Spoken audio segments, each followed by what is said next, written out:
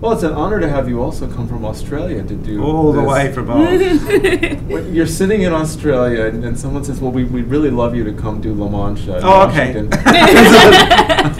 you know, when we first talked about doing this role, you always sit there and you go, "Well, who's gonna play Quixote?" You, you mm-hmm. start just going through the list. You're like, "Oh, oh, well, he's probably busy, and you know, he's he he'd be great. Oh, he'd be good."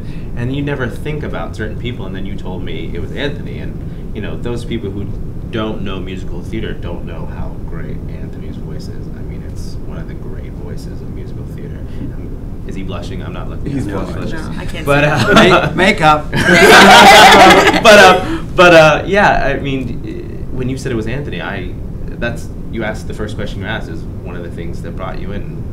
Getting to work with Anthony is just like it's pretty great. It's interesting you, you talk about you know, voices and what have you. That the, the one thing for me is that um, I, I've learned that you know I, I was classically trained. I, I've learned that I have an instrument that can work. What I have discovered in the um, the ensuing years of my life is that I love.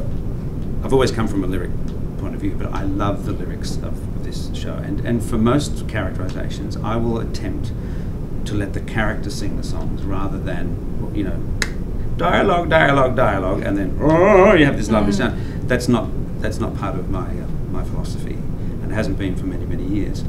Um, we did a, a Phantom of the Opera in Australia in 2007, and it was 17 years since the time that I performed the role, and I agreed to do it. And when we did it originally, in 1991, we were kind of teaching Australia what the show was because it was very new.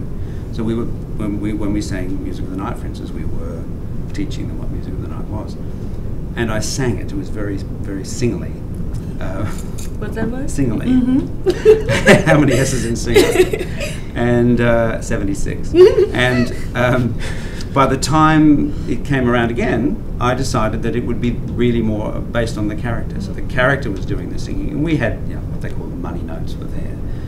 But for me, it's much more interesting for um, for the character to be doing the work. And so, you know, and in this show, this is a hard, harsh environment, um, and he is a hard, harsh character at points. Uh, so, I just brought that up because I think that you know sometimes people think these songs are beautiful, the songs in the show are beautiful, and for me personally, it's it's nice to actually to push away all the sweetness sometimes and find the core. There's some something that happens, and I know the three of you know it when you have a, a kinesthetic, true, co- instant connection to a part. Mhm. You can't always explain it, but you, but there's a real thing there.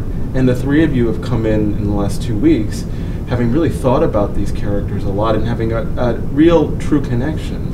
And do you feel that coming? Oh, in? absolutely. You know, uh, there, there's a softness, there's a hardness to this character. There's there's a vulnerability, obviously, to this character, but there's a there's a, a, a gravitas to him, and and I, I absolutely adore him as a as a person, and what he stands for.